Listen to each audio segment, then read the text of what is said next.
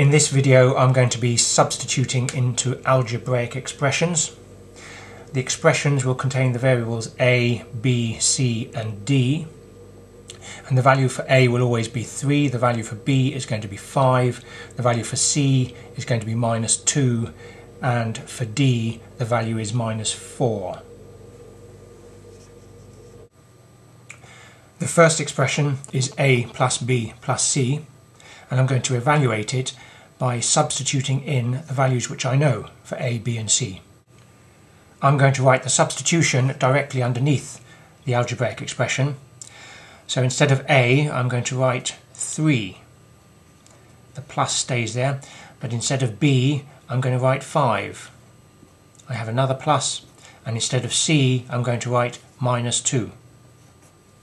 Writing the number version of the expression underneath the algebraic version of the expression lets me check for errors quite easily. Once I've got this number form of the expression, all I have to do is evaluate it using BODMAS. In this case there is no brackets or order or division or multiplication so it's just a matter of evaluating the addition and subtraction.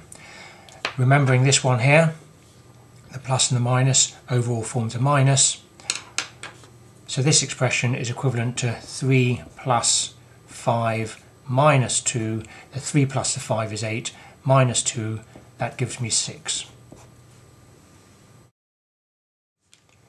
The next expression I'm going to evaluate is a plus b minus c. So the a gets substituted with 3 plus b is 5 minus and c is minus 2. Now that becomes 3 plus 5, but this minus minus 2 becomes a plus 2.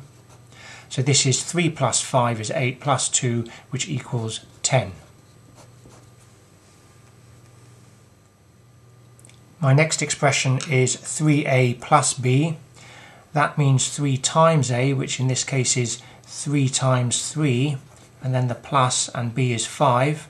I must do the multiplication first, so 3 times 3 is 9, and then plus 5, and 9 plus 5 is 14.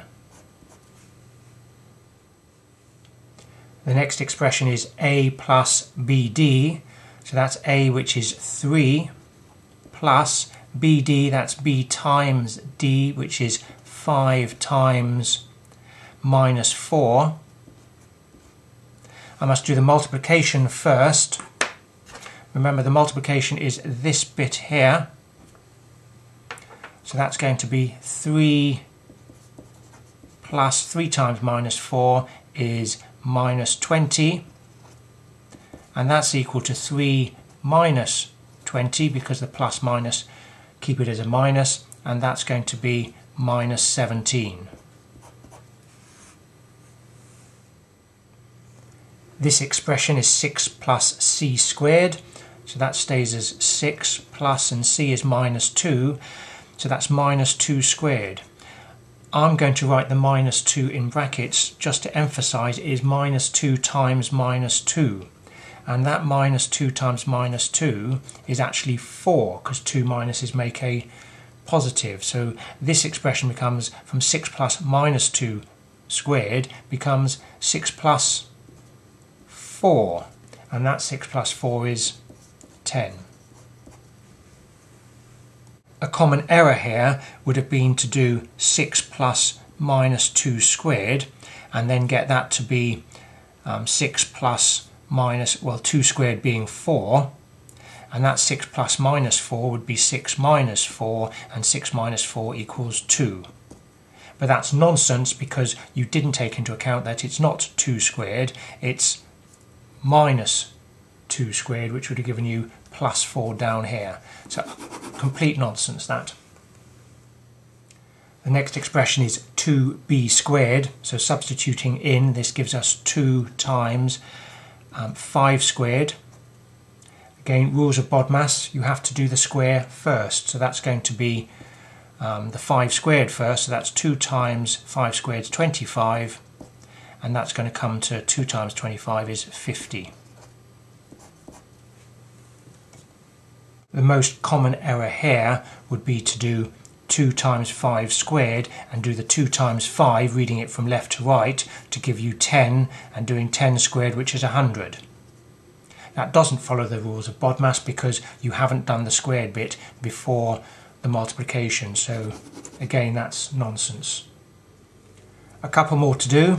The next expression is 12 minus 2 times a minus 3c.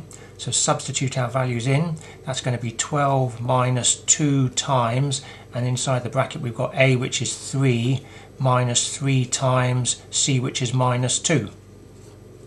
Now with the rules of BODMAS, I've got to do the bracket first, but inside the bracket I've got to apply its own rule of BODMAS, and so this multiplication gets done first. So I'll rewrite that as 12 minus 2 times uh, 3 minus, and then do this multiplication here, which is 3 times minus 2. So that's going to be minus 6, so this becomes 3 minus minus 6. I can now evaluate the whole of that bracket, so that's 12 minus 2 times um, 3 minus minus 6 is 3 plus 6. So that's going to be 12 minus 2 times 9.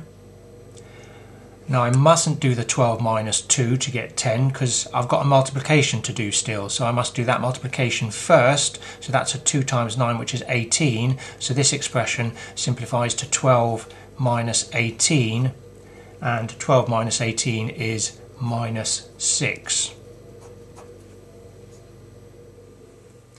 The last expression I'm doing today is a plus c plus d squared. So substituting the values, we have 3 plus bracket, c is minus 2 plus d is minus 4 and that is in brackets and that bracket is squared.